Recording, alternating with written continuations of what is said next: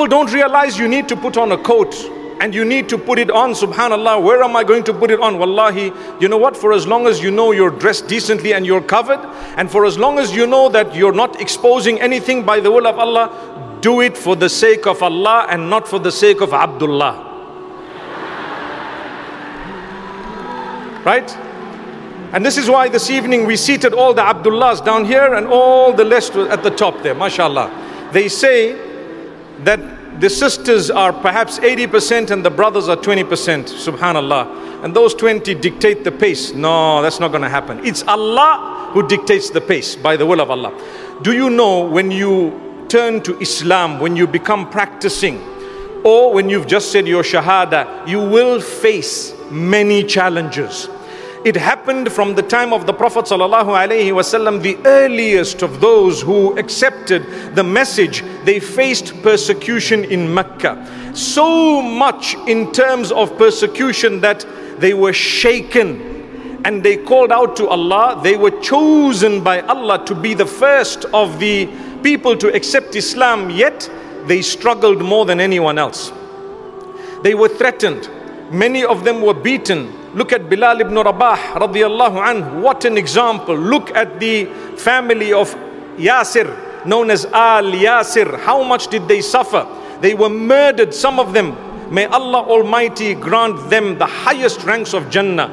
والسابقون السابقون أولئك المقربون في جنات النعيم Allah is promising them paradise because they were the first to turn to Islam. They were the ones who came in right at the beginning. Allah's telling them, you know what? They are the close ones. For them, they will be paradise. They will receive and achieve more than they would ever have imagined. May Allah Almighty make us steadfast. So if Abu Bakr, Umar, Uthman, Ali, radiyallahu anhum jami'an, may Allah be pleased with all of them and the others went through so much in terms of hardship and difficulty do you think we're not going to go through hardship and difficulty?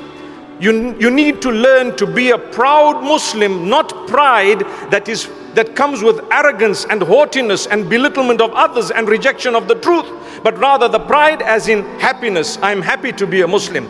I'm a happy Muslim and I'm proud of my identity. Here is my beard, here is my cloak. And that's why I started the way I did because while arguing about what should go before the other, you might just lose the entire sister. She'll say, you know what? Bugger this whole argument. Neither, neither an abaya nor a cloak, nor a coat. It's out. It can happen. Agreed? People put so much of pressure on others that they get so fed up, they say, I made a mistake. However, look at Allah telling us you will face challenge. You have to face challenge. Don't give up your identity because a few people might have spat in your direction. A few people might have said a few hurtful words. A few people might have hurt you in one way or another. You can deal with that. You can deal with that. You must deal with that in an appropriate way. But it should not deter you regarding your faith. If anything, it must make you stronger. If anything, it must make you stronger in your faith. If you decide to practice and your own family members are against you, it should make you stronger because there were those chosen by Allah chosen by Allah who went through that as well. আসসালামু আলাইকুম। Islamic motivation, দিনজন and দিনজন Bangla is our official channel. Visit our description box and pin command to buy some Islamic products. Thank you. আসসালামু আলাইকুম। Islamic motivation, দিনজন and দিনজন Bangla is our official channel.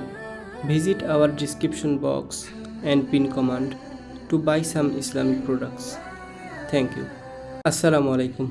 Islamic motivation, দিনজন and দিনজন Bangla is our official channel visit our description box and pin command to buy some Islamic products thank you আসসালামু আলাইকুম Islamic motivation দিনজন and দিনজন Bangla is our official channel visit our description box and pin command to buy some Islamic products thank you